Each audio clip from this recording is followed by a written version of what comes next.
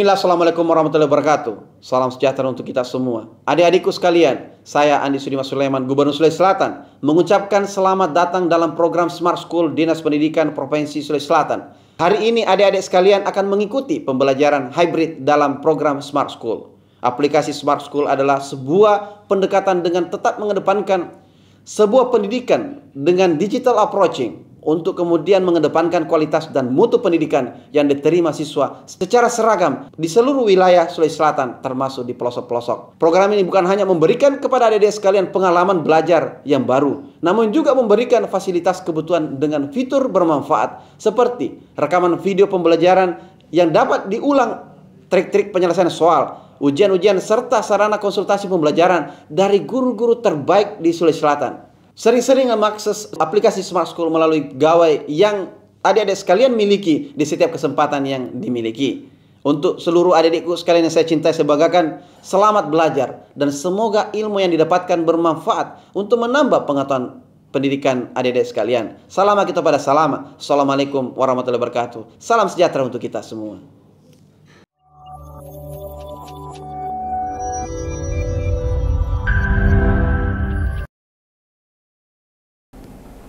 Assalamualaikum warahmatullahi wabarakatuh. Selamat siang, salam sejahtera buat kita semua.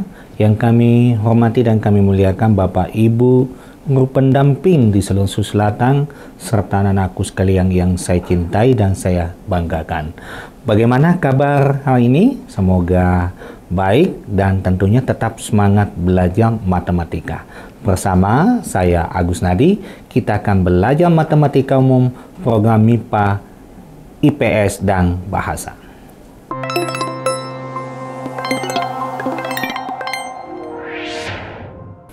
Pada kesempatan kali ini, yang kita akan bahas adalah tentang simpangan rata-rata.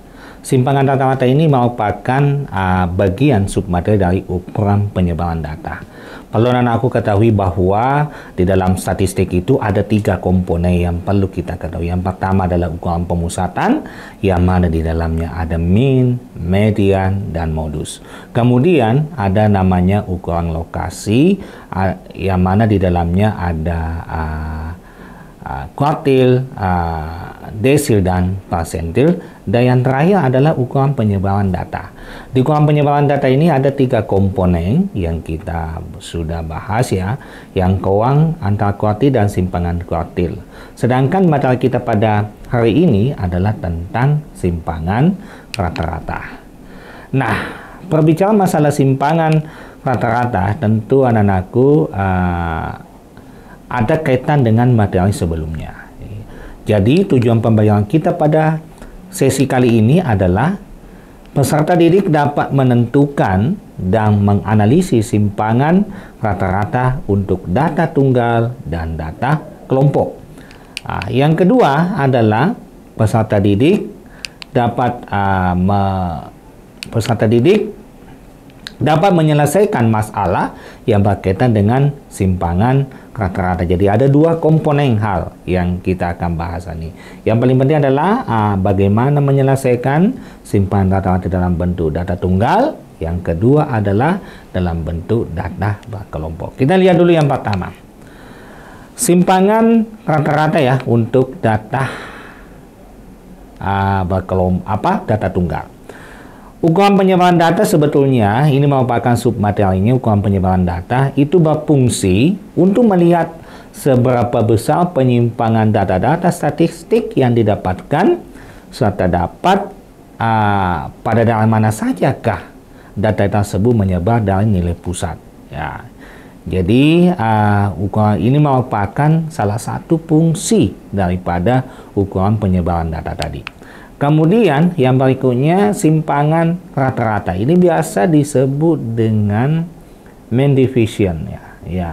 Jadi kalau simpangan rata-rata itu biasa disimbolkan dengan SR ataupun dengan MD ya berdasarkan dengan namanya. Jadi simpangan rata-rata itu adalah nilai rata-rata dari harga mutlak dan harga mutlak simpangan-simpangannya. Jadi ini dikatakan harga mutlak. Berarti harga mutlak itu kalau uh, kita lihat materi kelas 10 harga mutlak kita adalah nilai selalu bernilai bilangan positif, selalu bernilai positif, ya. Uh, walaupun misalnya hasil uh, uh, pengurangannya sebentar itu kalau mendapatkan bilangan negatif tetap uh, dikatakan bernilai positif. Ini uh, definisi daripada simpangan rata-rata. Nah, kita lihat ya anak-anakku sekalian bagaimana sih rumus simpangan rata-rata untuk data tunggal.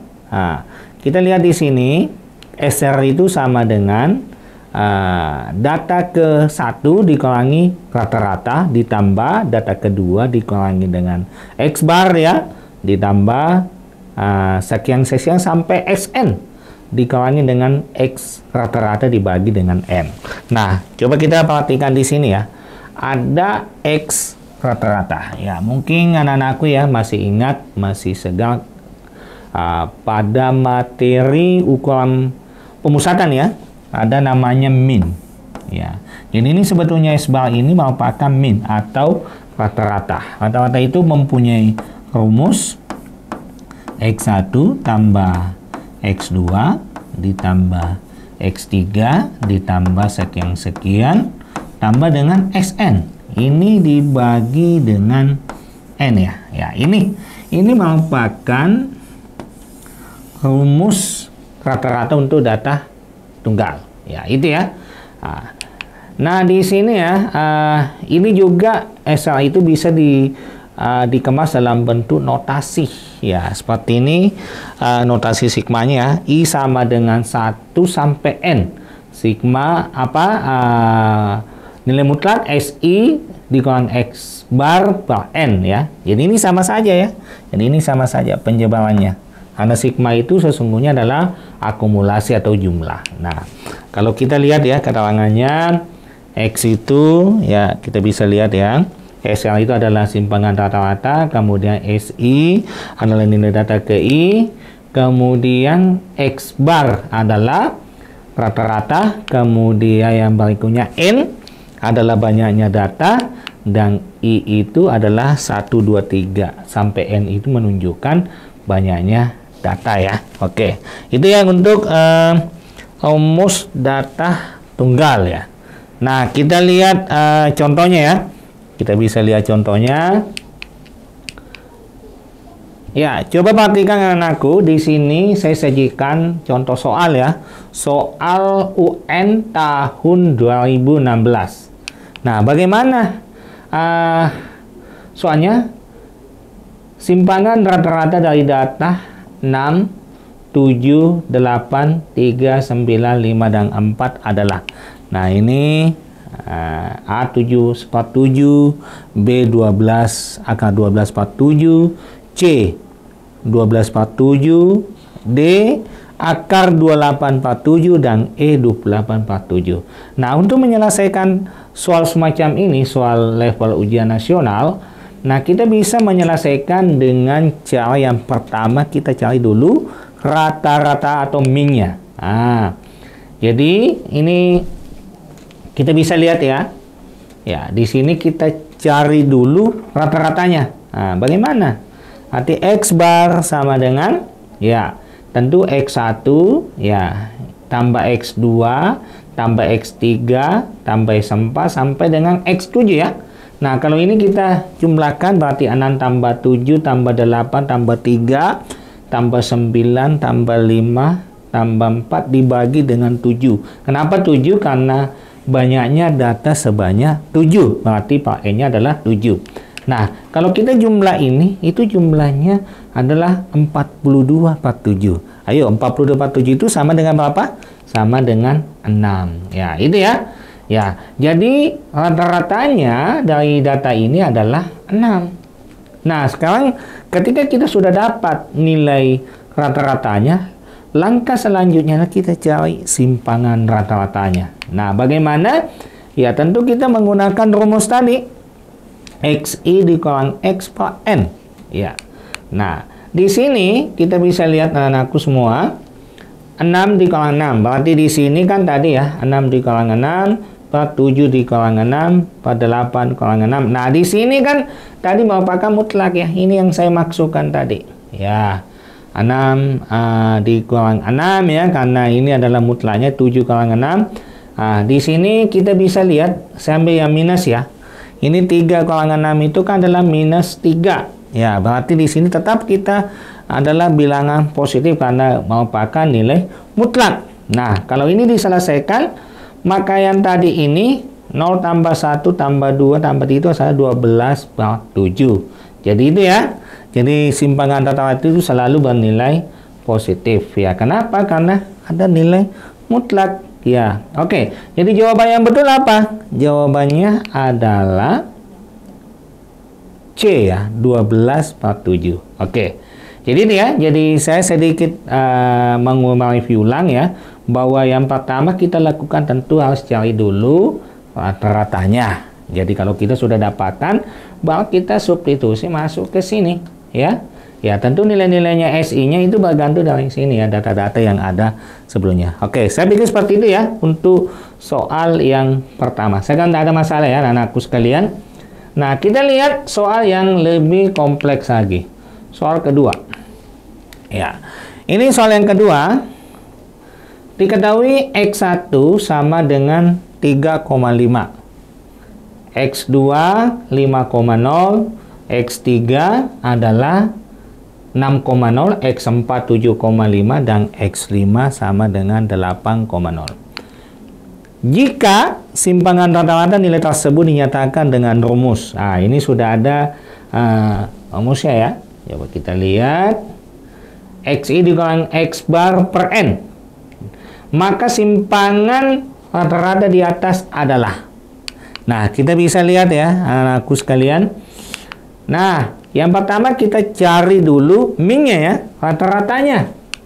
Nah, di sini kita kan ada tadi nilainya ya. Ini X1, ya kan?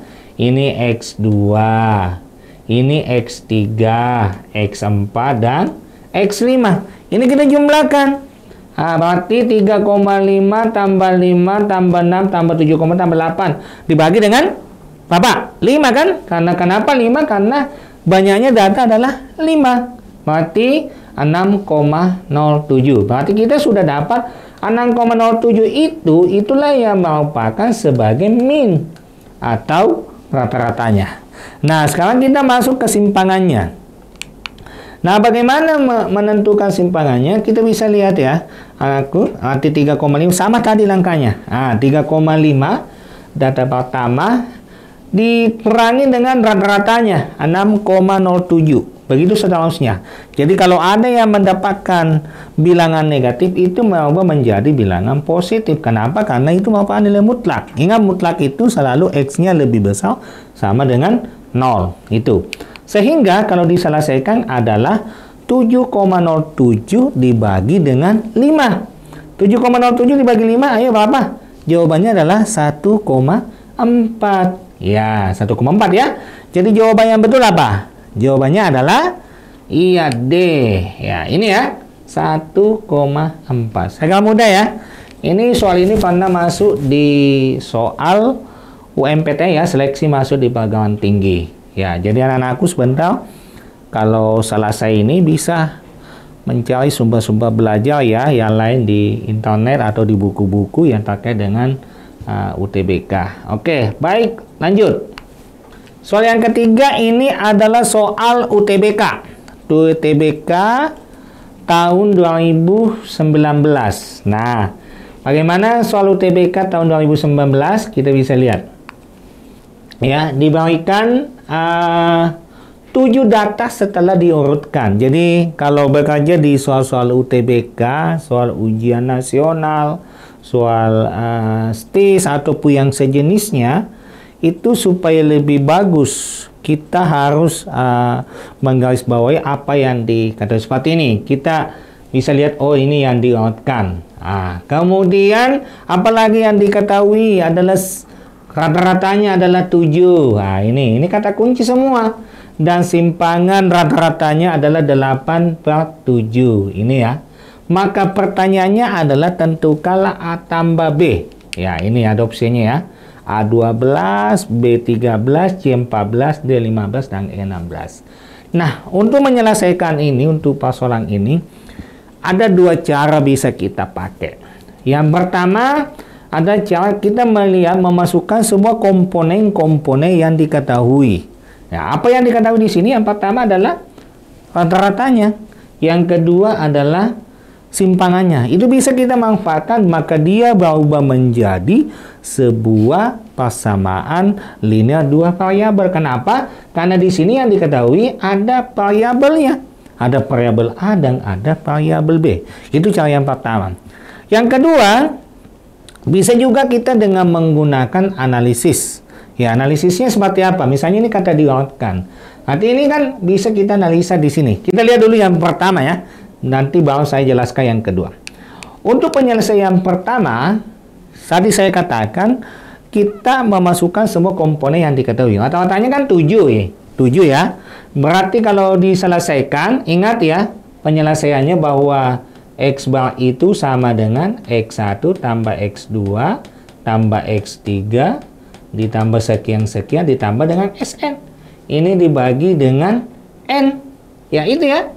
Berarti kalau ini diselesaikan, maka kita bisa mendapatkan sebuah persamaan. Nah, kita tambah ya. Ah, berapa A-nya di sini? 1, 2, 3 ya. Berarti 3A kan? Nah, berarti 3A. Kemudian B-nya berapa? Ini 1, 2. Berarti 2B. Tambah 2B. Nah, sekarang konstan konstannya. 1, 1 berarti 2, 7, 9 ya. Nah, 9 tambah 9 adalah 18. Berarti ada 18. Nah, berarti sudah mulai terbentuk 3A tambah 2B tambah 18 sama dengan 49. Di mana ambil 49? Kita kali silang.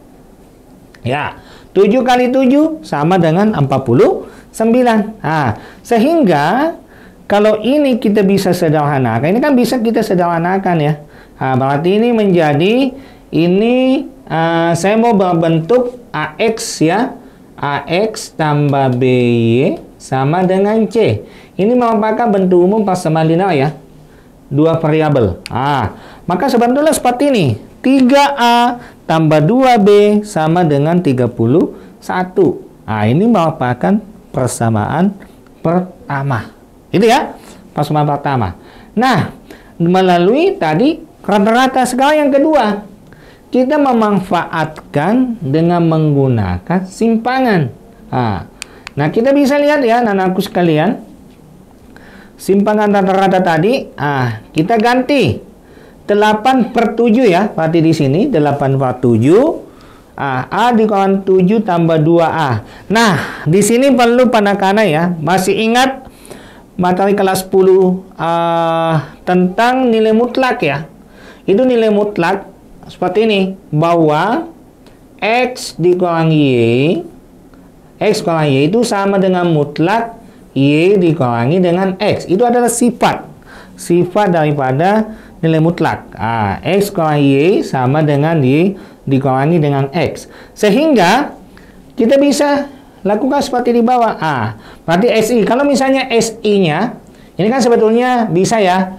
Uh, SI-nya kan A ya, berarti A dikurangi 7. Ya kan? Ah, ditambah 2 dikali A tambah 1. Kurang 7 ya. Per 7. Nah, sekarang ini bisa habis ya. Kita habiskan dulu ini. 7. Maka tinggal 8 ya. Nanti 8. Nah, di sini ini yang saya katakan tadi bahwa bisa saja kita tuliskan A7, bisa juga 7 kawan A. Apa jaminannya? Jaminannya adalah jaminannya adalah sifat nilai mutlak tadi bahwa uh, apa? X kurang Y itu sama dengan Y kurang X. Ini jaminannya. Ya, sehingga bisa saya tuliskan 7 dikurangi A dikali 2 6 kurang A ditambah ini juga tetap sama. Saya tidak ubah 2B dikurangi 7 sama dengan 2. Nah, kalau ini diselesaikan anak-anakku, maka dia akan terbentuk lagi sebuah persamaan linear dengan dua variabel. Inilah kita beri dengan simbol apa? Persamaan kedua. Nah, ketika kita sudah dapat persamaan pertama, persamaan kedua, berarti kita sudah bisa menyelesaikan dengan menggunakan metode. Ada beberapa metode yang masih ingat? Uh, metode untuk menyelesaikan persamaan linear itu dua variabel, masih ingat ya? Yang pertama dengan apa? Dengan metode grafik. Yang kedua dengan metode eliminasi, yang ketiga dengan menggunakan metode substitusi ataupun gabungan. Ya, bagus. Gabungan ya, berarti saya menggunakan metode eliminasi ya, yang lebih familiar untuk kita. Nah, 3A tambah 2B. Ini kan saya ambil dari situ. 3 tambah 2B sama dengan 31. Yang kedua, minus 3A tambah 2B ya. Ini pasangan kedua. Nah, di sini karena yang saya mau eliminasi adalah variabel A-nya, makanya di sini saya tambahkan. Ya, apa syaratnya untuk mengeliminasi ya? Itu adalah minimal koefisien daripada variabel itu sama. Kebetulan ini sama semua. Jadi bebas kita. Mau yang pertama A, mau B, sama saja. Kalau semisal saya mau mengeliminasi variabel B-nya, tentu kan tidak bisa saya jumlahkan. Berarti harus saya kurangi supaya ini menjadi 6A. Ya, begitu seterusnya ya. Nah, di sini berarti ini 2B, berarti nanti ini menjadi 4B, ya. 4B sama dengan 32. Nah, berarti kalau 4B sama dengan 32, berarti B-nya sama dengan 8. Nah, bagaimana mendapatkan nilai A? Nah, ini kan sudah dapat B. Nanti B kan sudah dapat ya. B sama dengan apa tadi? 8. Maka ini disubstitusi ke salah satu persamaan. Mau yang pertama atau mau yang kedua sama saja. Saya pilih yang pertama saja. Berarti 3 dikali A ditambah. B-nya berapa tadi? B-nya adalah 8 ya. Berarti 2 dikali 8. Ya, sama dengan 31 ya. Nah, 31. Sehingga ini 3A sama dengan berapa di sini? Ini 2 kali 8 kan 16 ya. Berarti 31 kali 16 sama dengan 15. Nah, ini 15 ya. Berarti A-nya A-nya sama dengan berapa? 15 per 3 adalah 5. Nah, maka ditulis A-nya sama dengan 5 di sini. Ya, bisa ya? Sehingga pertanyaannya tadi di soal adalah A tambah B Berarti kalau A tambah B berarti 5 ditambah dengan 8. Jawabannya adalah 13. Kalau begitu jawaban yang betul apa? Jawabannya adalah B. Itu ya. Ah, itu metode yang pertama. Saya katakan tadi bisa kita selesaikan dengan dua metode. Yang kedua, cara yang kedua bisa kita selesaikan dengan uh, apa soal UTBK kali ini adalah dengan menganalisis soalnya. Nah, coba kita lihat anak-anakku semua. Ini adalah urutan soalnya ya. Ini adalah urutan bilangannya. Coba perhatikan di sini ya. Ini yang saya kotakkan. A, A tambah 1, A tambah 1, 7, B, B, 9. Nah, kalau kita perhatikan karena ini merupakan bilangan bulat, ya, bilangan bulat, maka otomatis B-nya berapa? Kalau ini 7, ini 9, pasti B-nya berapa? B-nya sama dengan 8. Arti B-nya sama dengan 8. Nah, kalau B sama dengan 8, berarti tinggal substitusi dong. Masuk ke sini. Ya, sama kan? Kembali karena kenapa? Kita bisa menggunakan aturan rata-rata tadi. Bahwa 3A tambah 2B sama dengan 31. Kalau B sama dengan 8 kan ketemu juga 13. Ini lebih cepat ya hanya satu kali uh, kita menghitung, kita bisa dapat jawabannya. Jawabannya sama ya. Jawabannya adalah 13. Itu ya. Itu soal uh, apa ya? Ini adalah soal UTBK tahun 2019. Jadi tingkat kesulitannya ya tentu di sini tadi harus anak-anakku lebih banyak memahami konsep simpangan rata-rata itu sendiri ya. Oke, yang mana yang dianggap mudah, gampang, itu yang dilakukan. Oke ya, cukup ya untuk soal tiga ini. Saya pikir uh, tidak ada masalah ya. Soal ketiga tinggal uh, Anda latihan soal-soal saja. Baik, ah, ini baru data tunggal. Sekarang kita lihat bagaimana sih data kelompok. Nah, untuk data kelompok, biasanya data kelompok itu disajikan dalam bentuk dalam bentuk daftar tabel distribusi frekuensi. Nah, untuk rumusnya, rumus yang digunakan adalah simpangan rata-rata itu adalah seper n sigma FI mutlak SI dikurang S bar. Atau bisa juga ini. Ya, bisa juga ini kita gunakan. Ya, sigma FISI plus sigma FI. FI ini kan sama dengan sebetulnya sama dengan N, ya, sama N. Hanya model bentuk. Tapi pada umumnya ketika kita menggunakan uh, konsep min atau rata-rata, maka biasa kita gunakan yang kedua. Kita lihat contohnya ya. Ya. Ya, perhatikan tabel distribusi frekuensi berikut. Ah, ini soalnya ya. 11 sampai 15, intervalnya 16 sampai 20, 21 sampai 25. Jadi ada 5 kelas interval di sini. Pertanyaannya adalah tentukanlah sim, nilai simpangan rata-rata. Nah, untuk menyelesaikan kalau dia dalam bentuk simpangan rata-rata tadi adalah kita harus menentukan dulu rata-rata dalam bentuk data berkelompok minyak. Nah, yang pertama kita buatkan dulu tabel ya. Ya. Nah, kita hitung berapa sih banyaknya data. Nah, ini F itu diambil dari F. Ya, jadi kalau dihitung diakumulasi datanya 5 tambah 7 tambah 4 tambah 3 tambah 1 itu jumlahnya adalah 20. Jadi banyaknya N adalah 20. Nah, di sini nilai tengah. Nah, ini ada nilai tengah ya. Ya, coba kita lihat ada nilai tengah SI. Apa sih rumusnya SI? Nilai tengah. Nilai tengah itu adalah batas bawah kelas ditambah dengan batas atas kelas dibagi dengan dua. Nah, berarti ini 11, ini ya. 11 ditambah dengan 15 dibagi dengan 2. Berarti jawabannya adalah 13 ya. Begitu seterusnya. 13, 18, 23 dan seterusnya. Itu ya. Nah, setelah itu kita perkalikan ya. Kita perkalikan FI kali SI. Kenapa kita perkalikan? Karena kita mau menghitung rata-ratanya. Nah, nah di sini sigma FI kali SI per sigma FI.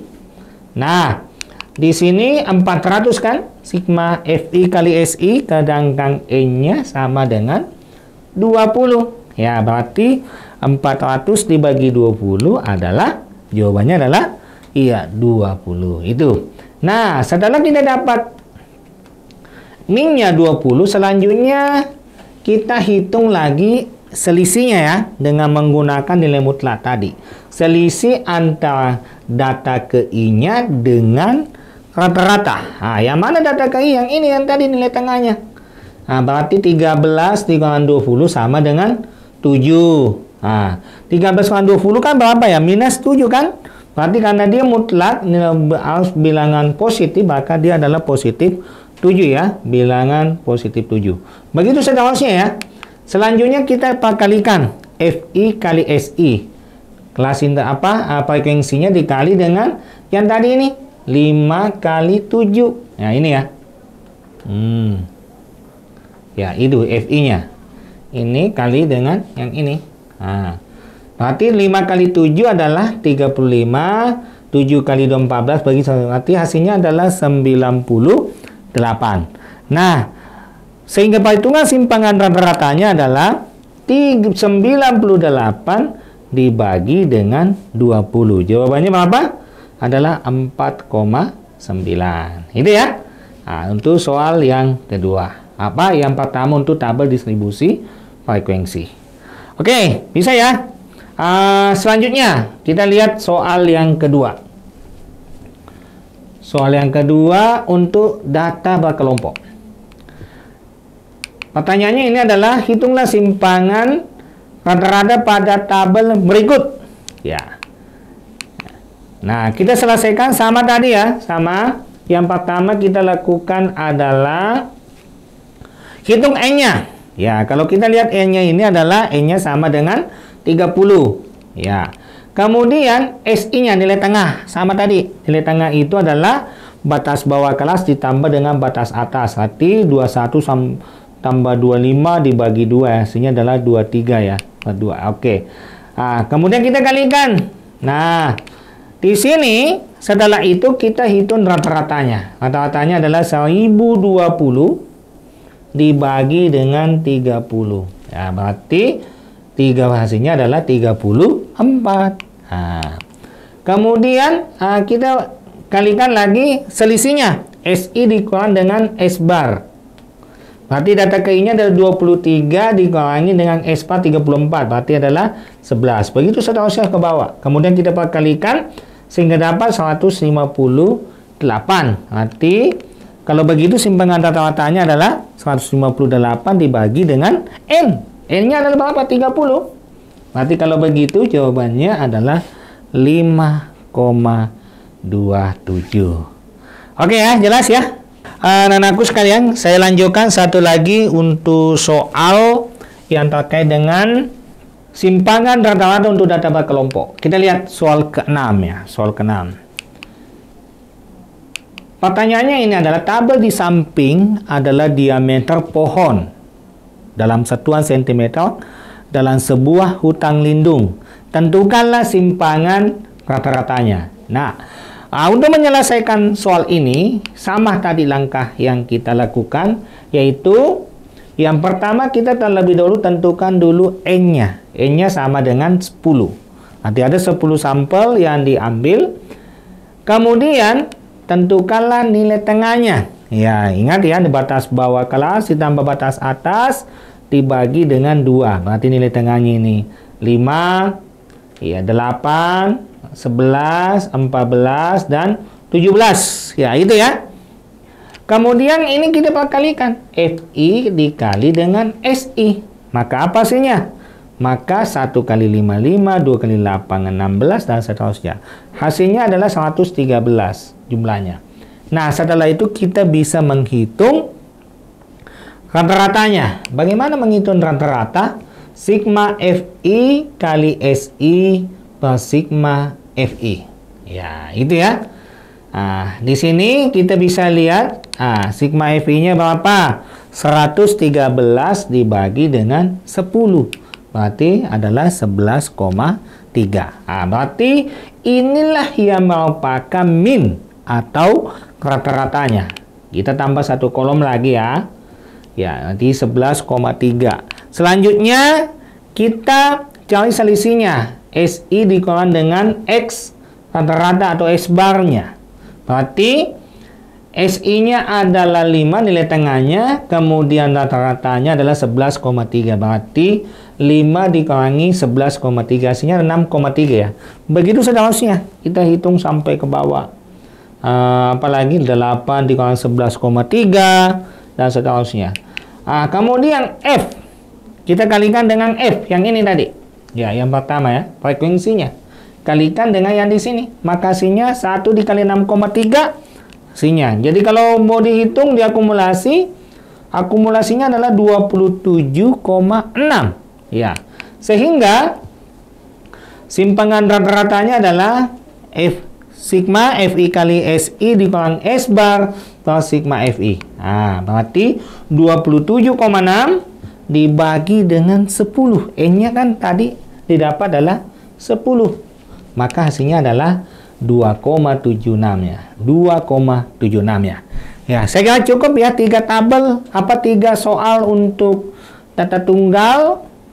Kemudian uh, tiga soal juga untuk data berkelompok. Namun kalau anak-anakku masih ada yang masih kurang jelas, ini bisa anak-anakku melakukan latihan ya.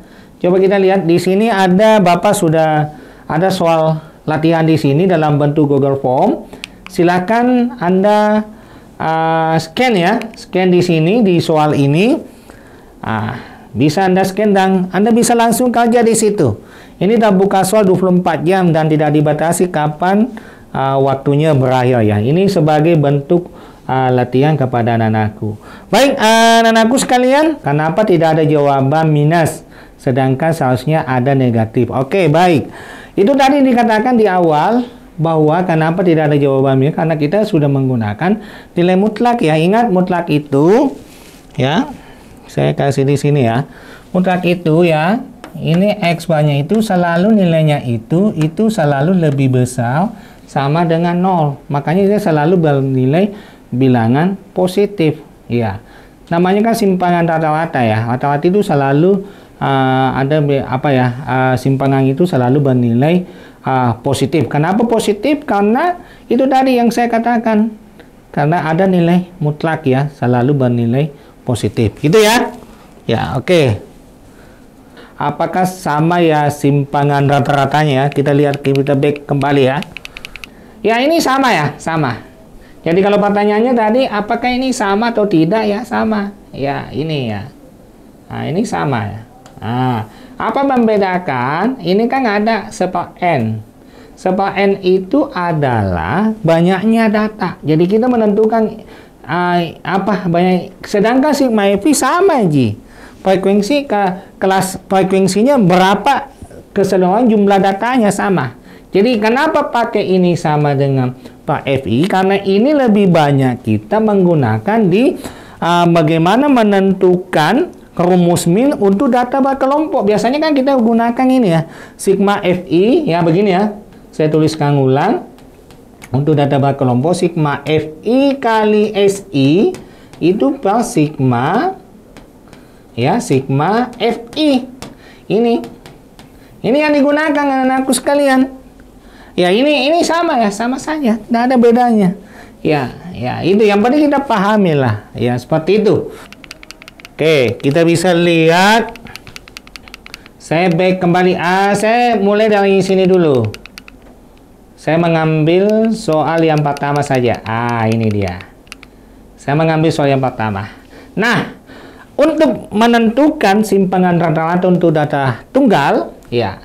Yang pertama kita lakukan, ini kan dulu harus kita pahami dulu rumusnya. Ya, kita pahami dulu. Apa rumusnya untuk data tunggal? Ya tentu rumusnya data tunggal simpanan data untuk data tunggal ini xi dikurangi x bar per n itu kata kunci ya. Nah, nah sebelum kita masuk simpangannya kita hitung terlebih dahulu adalah rata-ratanya. Ya, bagaimana cara menghitung rata-rata? Saya kira kan sudah dijelaskan di bagian awal untuk uh, ukuran pemusatan. Ada itu. Berarti X Rata-rata X bar sama dengan X1 tambah X2 ditambah X3 ditambah sekian tambah Sn. Ini dibagi dengan N. Itu ya. Nah, setelah kita dapat ini, anak-anakku sekalian, uh, yang ada di Sulawesi Selatan, ini kita masukkan nilainya ini ke sini. Ya, tentu bagaimana cara masukkan, diurutkanlah data-datanya seperti ini. Ya, apakah perlu dilakukan? Tidak, tidak mesti. Bebas saja, misalnya 6 dikurangi sekian, 7 kawan sekian, rata-ratanya yang kita dapat. Setelah itu baru kita dapatkan simpanan rata-ratanya. Seperti itu ya. Baik, uh, anakku sekalian, uh, sebagai kesimpulan kita, yang pertama, kesimpulan kita yang pertama adalah simpanan rata-rata itu bisa dihitung dengan menggunakan uh, mutlak XI dikurang X bar per N. Itu ya. Itu untuk ini merupakan uh, rumus rata-rata simpangan rata-rata untuk data tunggal ya. Itu yang pertama. Yang kedua, untuk data berkelompok.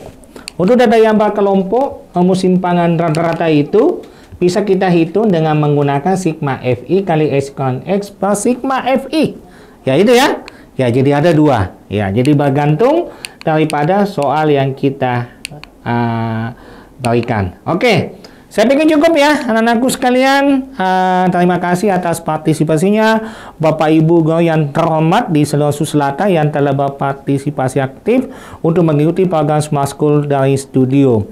Terima kasih, salam School, berkata Cerdaski. Ya, terima kasih. Assalamualaikum warahmatullahi wabarakatuh.